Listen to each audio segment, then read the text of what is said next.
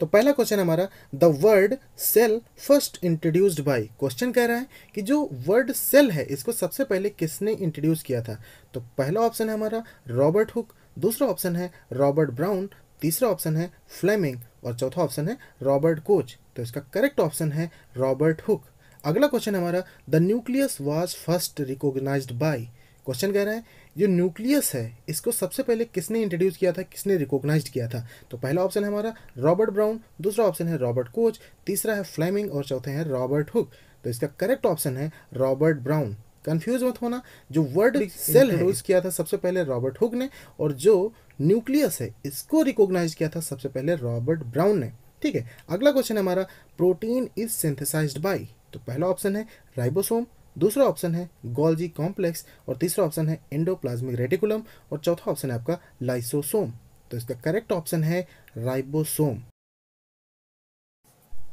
अगला क्वेश्चन है हमारा, the plasma membrane is mainly compose of. Question कह रहा है कि जो प्लाज्मा मेम्ब्रेन होती है, वो मेनली किस चीज़ से बनी होती है? पहला ऑप्शन है आपका प्रोटीन, दूसरा ऑप्शन है लिपिड, तीसरा ऑप्शन है फास्फोलिपिड और चौथा ऑप्शन है सेलुलोज पहले ध्यान से क्वेश्चन समझ लीजिए। यहाँ पर ये पूछ रहा है कि प्लाज्मा मेम्ब्रेन मेनली किससे बनी होती है? ना कि ये पूछ रहा है कि प्लाज्मा मेम्ब्रेन किस किस कंपोनेंट से बनी होती है। ठीक है? तो यहाँ पर मेन कंपोनेंट हमको बताना है, जो कि ज़्यादा मात्रा में प्रेजेंट होता है प्लाज्मा मेम्ब्रेन में। ठीक है? तो इसका करेक्ट ऑप्शन हो जाएगा फास्फोलिपिड वैसे तो लिपिड मॉलिक्यूल्स भी होते हैं प्रोटीन्स मॉलिक्यूल भी होते हैं, लेकिन मेनली जो कंपोनेंट होता है प्लाज्मा मेम्ब्रेन का, वो होता है हमारा फास्फोलिपिड ठीक है? अगला क्वेश्चन है हमारा Golgi apparatus is concerned with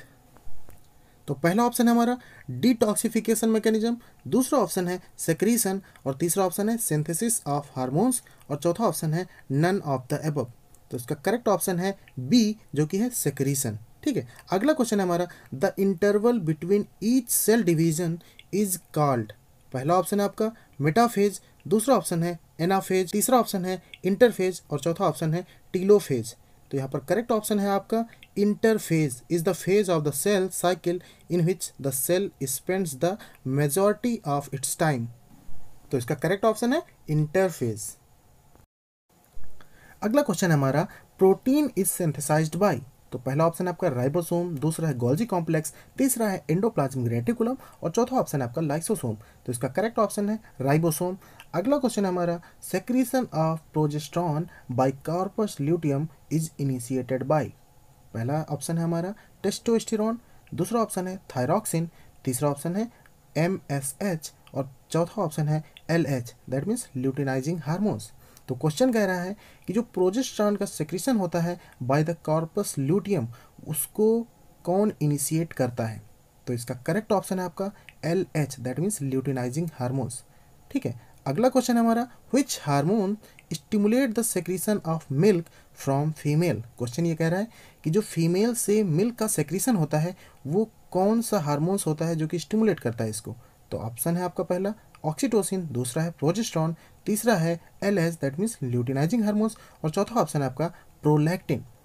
तो इसका करेक्ट ऑप्शन है प्रोलैक्टिन जो कि एंटीरियर लोब ऑफ़ पिट्यूटरी के द्वारा सेक्रेट किया जाता है, और ये स्टिमुलेट करता है मिल्क फ्रॉम फीमेल ठीक है? तो ये है इसका करेक्ट ऑप्शन जो कि है प्रोलैक्टिन तो अगला क्वेश्चन हमारा the first hormones artificially produced by culturing bacteria bacteria को कल्चर करके सबसे पहला आर्टिफिशियल हार्मोन्स कौन सा प्रोड्यूस किया गया था? तो पहला ऑप्शन है आपका टेस्टोस्टेरॉन दूसरा ऑप्शन है एडिनेलिन तीसरा ऑप्शन है इंसुलिन चौथा ऑप्शन है थायरोक्सिन तो इसका करेक्ट ऑप्शन है इंसुलिन इंसुलिन को प्रिपेयर किया गया था सबसे पहले artificially by the culture of bacteria okay अगला क्वेश्चन हमारा the hormones which regulate the basal metabolism in our body is secreted from तो सबसे पहले बेसल मेटाबॉलिज्म क्या होती है? इसको समझिए। तो बेसल मेटाबॉलिज्म जो होती है it is the minimum amount of energy the body uses in order to maintain vital process of the body okay जो vital process of the body होती हैं, उसको मेंटेन करने के लिए जो एनर्जी की रिक्वायरमेंट होती है, वो होती है हमारी बेसल मेटाबॉलिज्म ओके? और इसको कौन सा हार्मोन्स रेगुलेट करता है, वो कहाँ से सेक्रेट होता है? ठीक है? तो पहला ऑप्शन है आपका एड्रिनल कॉर्टेक्स, दूसरा ऑप्शन है पैनक्रियाज, और तीसरा ऑप्शन है पिट्यूटरी, चौथा ऑप्शन है थायराइड। तो इसका करेक्ट ऑप्शन है आपका थायराइड। ठीक है? अगला क्वेश्चन हमारा, calcitonin is a thyroid hormones. Which calcitonin, जो कि एक थायराइड हार्मोन है, और ये क्या करता है? तो इसका पहला ऑप्शन है आपका, elevates calcium level in blood, दूसरा has no effect on calcium level तीसरा elevate potassium level in blood चौथा lowest calcium level in blood तो ये जो कैल्सीटोनिन होता है, ये हमारी बॉडी में कैल्शियम लेवल को कम करता है ओके तो ये lowest calcium level in blood ये हो जाएगा हमारा करेक्ट ऑप्शन ठीक है? जो कि है डी ऑप्शन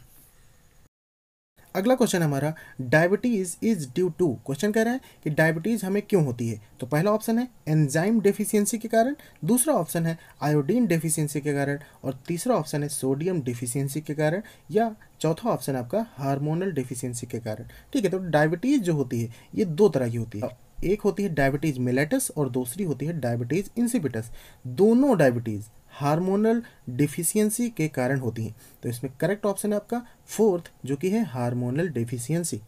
अगला क्वेश्चन हमारा the gonadotropic hormones are secreted by जो गोनेडोट्रॉपिक हार्मोन्स होता है, वो किससे सेक्रेट किया जाता है? तो पहला ऑप्शन है आपका एंटीरियर लोब ऑफ़ पिट्यूटरी दूसरा ऑप्शन है इंटरस्टिशियल सेल्स ऑफ़ टेस्टिस और तीसरा ऑप्शन है एडिनल कॉर्टेक्स चौथा ऑप्शन है पोस्टीरियर पार्ट ऑफ़ थायराइड तो इसका करेक्ट ऑप्शन है एंटीरियर लोब ऑफ़ पिट्यूटरी ठीक है, अगला क्वेश्चन हमारा the function of oxytocin is to help in oxytocin जो होता है, वो किस चीज़ में हेल्प करता है? तो पहला ऑप्शन है आपका चाइल्ड बर्थ दूसरा ऑप्शन है ग्रोथ तीसरा ऑप्शन है लैक्टेशन और चौथा ऑप्शन है गैमिटोजेनेसिस तो इसका करेक्ट ऑप्शन है चाइल्ड बर्थ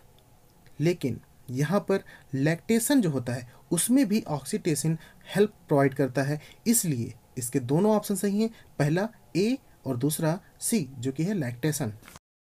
अगला क्वेश्चन हमारा melatonin is secreted by question कह रहा है कि मिलेटोनिन किसके द्वारा सेक्रेट किया जाता है? पहला ऑप्शन आपका पीनियल बॉडी दूसरा ऑप्शन है स्किन तीसरा ऑप्शन है पिट्यूटरी ग्लैंड और चौथा ऑप्शन है आपका थायराइड तो इसका करेक्ट ऑप्शन है पीनियल बॉडी या कहें पीनियल ग्लैंड ठीक है, और ये मिलेटोनिन जो होता है, ये रिस्पॉन्सिबल होता है हमारे बॉडी कलर के लिए कि हमारी बॉडी का कलर ब्लैक होगा या वाइट होगा। अगला क्वेश्चन हमारा H is secreted by that means melanophore stimulating hormones is secreted by पहला ऑप्शन है आपका एंटीरियर लोबा पिट्यूटरी दूसरा ऑप्शन है मिडिल लोबा पिट्यूटरी और तीसरा ऑप्शन है पोस्टीरियर लोबा पिट्यूटरी चौथा ऑप्शन है इंडोस्टाइल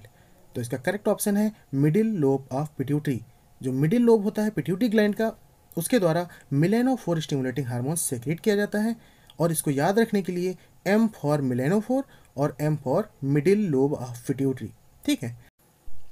अगला क्वेश्चन हमारा mainly which type of hormones control the menstrual cycle in human beings पहला ऑप्शन है आपका follicular stimulating hormones that means F S H दूसरा ऑप्शन है luteinizing hormones that means L H और तीसरा ऑप्शन है F S H L H and estrogen चौथा option है आपका प्रोजेस्ट्रॉन तो इसका करेक्ट ऑप्शन है सी जो कि है F S H L H and estrogen ठीक है? ये तीनों हार्मोन्स मिलकर मेंस्ट्रुअल साइकिल को कंट्रोल करते हैं इन द ह्यूमन बींग्स अगला क्वेश्चन हमारा एक्रोमेगेली इज़ काज्ड बाई पहला ऑप्शन है आपका excess of S T H that means somatotropic hormones दूसरा ऑप्शन है एक्सेस ऑफ़ थायरोक्सिन तीसरा ऑप्शन है डेफिशिएंसी ऑफ़ थायरोक्सिन और चौथा ऑप्शन है एक्सेस ऑफ़ एडिनेलिन तो इसका करेक्ट ऑप्शन है ए जो कि है excess of somatotropic hormones acromegaly, जो कि एक डिज़ीज़ है, और ये कॉज होती है by the hyper secretion of growth hormones या सोमेटोट्रॉपिक हार्मोन्स ओके अगला क्वेश्चन हमारा the basic unit of kidney is question कह रहा है, जो किडनी की बेसिक यूनिट होती है, वो क्या होती है? तो पहला ऑप्शन है आपका ग्लोमेरुलस दूसरा ऑप्शन है नेफ्रॉन तीसरा ऑप्शन है लूप ऑफ़ हेनले और चौथा ऑप्शन है नन ऑफ़ द एबव तो इसका करेक्ट ऑप्शन है नेफ्रॉन अगला क्वेश्चन हमारा water is reabsorb in tubules due to effect of पहला ऑप्शन आपका एल्डोस्टेरॉन दूसरा ऑप्शन है नेफ्रॉन तीसरा ऑप्शन है पैराथार्मोन्स और चौथा ऑप्शन है ऑल ऑफ़ द एबव तो इसका करेक्ट ऑप्शन है एल्डोस्टेरॉन याद रखिए एल्डोस्टेरॉन को हम एंटी नेट्री यूरेटिक या एंटी डायूरेटिक हार्मोन्स भी बोलते हैं, क्योंकि ये वाटर का रीअब्जॉर्प्शन करवाता है टिब्यूल्स में और यूरिन के आउटपुट को कम करता है. दैट मीन्स यूरिन के वॉल्यूम को कम करता है और सेव करता है water inside the body ठीक है? अगला क्वेश्चन है आपका ट्राइगोन इज़ प्रेजेंट इन पहला ऑप्शन है आपका यूरेथ्रा दूसरा ऑप्शन है यूरिनरी ट्यूब्यूल और तीसरा ऑप्शन है यूरेटर चौथा ऑप्शन है आपका bladder that means urinary bladder और इसका करेक्ट ऑप्शन है डी जो कि है यूरिनरी ब्लेडर अगला क्वेश्चन हमारा nephritis is a disease occurs in पहला ऑप्शन है आपका इन किडनी दूसरा ऑप्शन है इन यूरेथ्रा तीसरा ऑप्शन है यूरेटर चौथा ऑप्शन है ब्लेडर तो इसका करेक्ट ऑप्शन है किडनी किडनी के अंदर नेफ्रॉन होते हैं, जो कि structural and functional unit of kidney होती हैं, ठीक है? और इसमें जब स्वेलिंग होती है, उसको हम बोलते हैं नेफ्राइटिस जो कि एक डिज़ीज़ है, ठीक है? तो इसका करेक्ट ऑप्शन है किडनी। अगला क्वेश्चन है हमारा the number of nephron in each kidney is about पहला ऑप्शन आपका हंड्रेड दूसरा है थाउज़ेंड तीसरा है वन मिलियन और चौथा ऑप्शन है टेन थाउज़ेंड तो इसका करेक्ट ऑप्शन है वन मिलियन ठीक? अगला क्वेश्चन है आपका the capacity of bladder is about पहला ऑप्शन आपका हंड्रेड एम दूसरा ऑप्शन है फाइव हंड्रेड एम तीसरा ऑप्शन है two hundred M and fourth option is the one litre तो जो कैपेसिटी होती है यूनि ब्लेडर की, वो होती है four hundred to six hundred M तो इसका करेक्ट ऑप्शन है बी जो कि है फाइव हंड्रेड एम ठीक है? अगला क्वेश्चन हमारा यूरिनरी ट्रैक्ट इन्फेक्शन जो होता है, जो यूटीआई इन्फेक्शन होता है, ये किसके द्वारा कॉज किया जाता है? तो पहला ऑप्शन है आपका एशिया कोलाई दूसरा ऑप्शन है माइक्रोबैक्टीरियम लेवरी तीसरा ऑप्शन है सीडोमोनास एरिगोनोसा और चौथा ऑप्शन है आपका साल्मोनेला टाइफी ठीक है तो इसका करेक्ट ऑप्शन है एशिया कोलाई दैट मीन्स ई